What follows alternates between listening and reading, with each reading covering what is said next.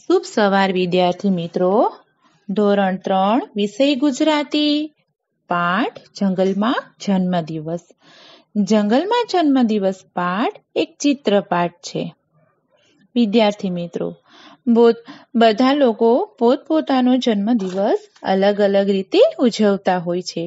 કોઈ ગાર્ડનમાં જઈને ઉજવતા હોય, કોઈ હોટલમાં જઈ અને પોતાનો જન્મદિવસ ઉજવતા હોય કોઈ ઘરની અંદર રહી સગા વહાલા મિત્રોને બોલાવી અને પોતાનો જન્મદિવસ ઉજવતા હોય, તો એવી જ રીતે આ પાઠની અંદર એક નાના બાળકનો જન્મદિવસ જંગલમાં ઉજવતા હોય એ રીતે તૈયાર કરવામાં આવ્યું છે.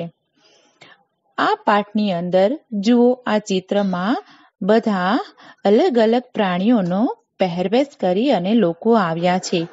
હાથી, રીંછ, સિંહ, સસલું, કાચબો અને નાનો બાળક, જેનો જન્મદિવસ છે તે હરણ બન્યો છે. તેના મમ્મી પપ્પાએ પણ હરણના વેશ પહેર્યો છે અને વાઘ પણ છે. તો આ રીતે એ નાના બાળકનો જન્મદિવસ ઉજવે છે. બીજા ચિત્રમાં જુઓ.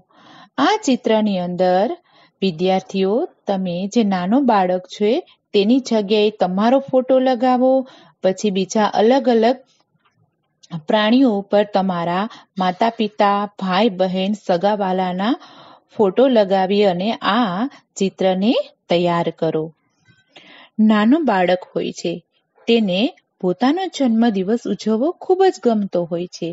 તે દિવસે બાળકને નવા કપડાં પહેરવા ગમતા હોય છે, બાળકને કોઈ અલગ અલગ ઉપહાર આપે તો એ ખૂબ ગમતું હોય છે.